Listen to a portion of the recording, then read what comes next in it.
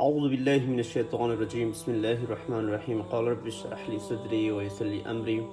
وهل عقدة من لساني يفقه قولي. ربي زدني علما کریم دوستان عزیز میخواستم در مورد ختم ها و هایی که امروز در افغانستان و در این کشور هم گرفته میشه صحبتی داشته باشیم.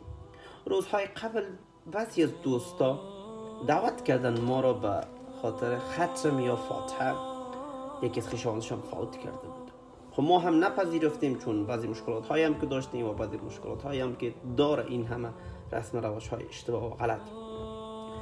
سوال من در اینجاست. تو عزیزی که این ختم ها رو می‌گیری این فاتحه رو می‌گیری از کجا گرفتی این موضوع را کی برایت گفته؟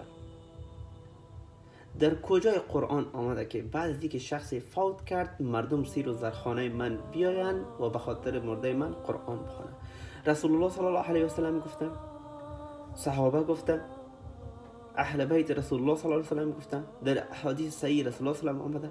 هرگز. ما یک نمونه یک مثال براتون میگم. پیش ما قرآنی است که بعضی اوقات می‌خوانم.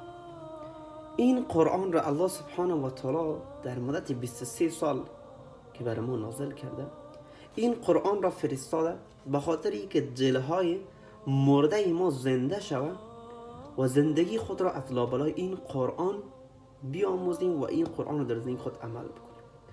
اگر من در زندگی خود این قرآن را نخوانم به دستوراتش عمل نکنم فقط به این اید و دیگه اید از تاقچه پایینش بکنم و ماتش کنم. پس بگذارم حقش را ادا نکردم. و این را هر سال بعد از خانه تکانی خود خانه پاکاری خود و به خاطر گرفتن سر عروس خود که او هم قولش لوچ است. از که رحمت فرستاده شد و لعنت فرستاده میشم. عمل نکنم به دستوراتش در زندگی خود پیاده اش نسازم. و امورات زندگی خود را از این کتاب بر حق نگیرم. بعد از که من فوت بکنم فکر می‌کنید که اگر همه قاریان جهان را جمع بسازن ذره سودن هم برای ما مفاد نخواهد داشت. اگر طبق حدیث رسول الله صلی الله علیه صحیح حدیث رسول الله صلی الله علیه و عمل بکنیم که رسول الله صلی الله علیه میفرماد که من نمیگم که الف لام میم یک حرف است بلکه میگم الف یک حرف است لامش یک حرف است میمش یک حرف است در هر حرفش ده حسن الی یک حسن است.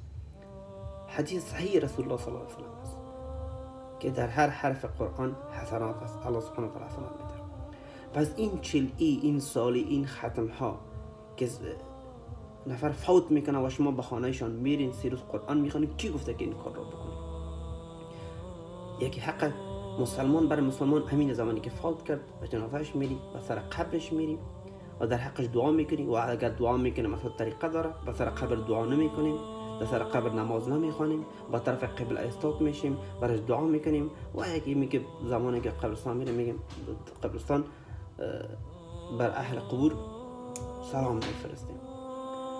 دیگه در کجای قرآن و احادیث رسول الله صلی الله علیه و سلم آمدن که شما چلی و سالی و سی و و غیره و غیره بگید؟ در کجای این این قرآن و حدیث رسول الله صلی الله علیه و آمده که شما این چیز کار بکنید؟ زمانی که یک شخص فوت می‌کنه او در فکر این نیست که چطور میت دفن بسازه. در فکر این است که چطور این همه غذاها را آماده بسازه تا چهار تا شکم کدایی که سالها پایشون در مسجد نرفته اونا رو چطور غذا بده در حالی که رسول الله صلی الله علیه و میفرماد زمانی که شخصی فوت می‌کنه شما بر خانه میت غذا برین اما ما برعکس همه احادیث و همه حکم قرآن عمل می‌کنیم. قرآن خیلی این نمیگه زمانی که یک شخص فوت کرد ما باید همکاری بکنیم. سیرش به او غذا ببریم. شخصی هست که فوت می‌کنه و حاجی است که سالها علیه این قرآن مبارزه کرده و زمانی که یکی از خیشاوندش فوت می‌کنه در مسجد ختم می‌گیرن و این جناب همونجا حاضر میشه و همه گرد استاده هستن. و درست است که یک زمینه مساعد میشه و از زمین فرصت استفاده کرده و برای مردم پیام میرسونی اما این یک رواج های نامنظم غلطی هست که ما این را آموختیم. اون حاجی سالها عمرش علیه اسلام مبارزه کرده همیشه به خاطر قرآن احادیث سید رسول الله مبارزه کرده و اینا را خرافات گفته و امروز به خاطر دیگه چند روپی در, جیب تو بیا و مردم غذا بده در اونجا تو برش ختم میگی بیان که این دین را میراثی نیاموزیم. این دین را به شکل بسیار درستش بیاموزیم. قرآن را بخوانیم به سطح توان خود بخوانیم برش برنامه بگذاریم مشکلات خود حل بسازیم. با والله بالله ثم تالله این ختم هایی که در افغانستان میشه یا در این کشورها بعضی هم گرفته میشن شخص را در اونجا می‌برن که طریقه وضوی خود را یاد نداره. اونجا نشسته کرده میره قرآن را می‌خوره تمام میشه و پاکت پول برش می‌گذارن. با صرف به خاطر امین پول ده تا میره صرف به خاطر امون پول میره که پول به دست بیاره. که این کارها را انجام داده که ما من حیث دین این کار را می‌کنیم. چرا ما همیشه از طرف بعضی از فهمیده های خود ضربه می‌بینه به خاطر دیگه دهن مردم مردم بالاشان حرف نزنه میگه چطور بکنیم؟ بعد مردم رو مستجب به خاطر منتجب ساختن مردم کلام بر حق الله را پنهان می‌کنی. احادیث سید رسول الله برای مردم نمیگی. تو حق را برای مردم بگو ولو که فرداش قطر آورد بکنن مگر رسول الله صلی الله علیه و سلم زمانی که به دنیا آمد کاکای چقدر خوشحال بود. چقدر برنامه ها گرفت اینکه برادرزاده اش به دنیا آمد. اما زمانی که الله پیامبر صلی الله علیه و گفت که الله واحد را بپرستین اولین کسی که علیهش قیام کرد کاکایش بود. راه دعوت امین است. زمانی که تو به طرف حق حرکت بکنی اولین کسی که علیه تو میخیزد عضو خانواده تو هست. بعد ما من حیث مسلمان مسئولیتی که داریم الله سبحانه و تعالی نظر به متوان ما لا یکلف الله نفسا الا وسعها. به اندازه ما برای ما مکلف ما کرده. ما پیام را میرسانیم. اونهایی که قبول نمی‌کنن می‌گذاریم برای خودشان. چرا؟ کار ما پیام رسان است. نوح علیه السلام برای پسرش گفت قبول نکرد. پیغمبر صلی الله علیه و سلم کاکایش را داد کرد قبول نکرد. من زمانی که پیام میرسانم تو قبول کردی نکردی کار خودت است پیغمبر سلام کاکایش نتانست نشد.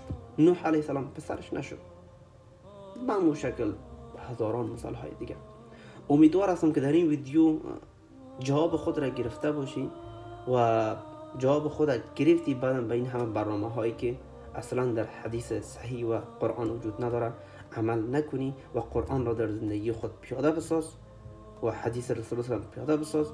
بدون شک دیگه سختی را به خود وادار نمی‌سازی که تو چند رپا پول جمع بکنی از کسی یا قرض بکنی بری نان و برنج این آن بخری چند تا اشخاص رو بری که سالها پشت در مسجد نرفته قرآن نمی‌خونه حتی نماز نمی‌خونه بعدا بیایم قرآن بخوانم به خاطری که برای سود برسنه والله که سودی برش نمیرسانه الا که به این قرآن و دستورات این عمل نکنیم. السلام علیکم و رحمت الله و برکاته.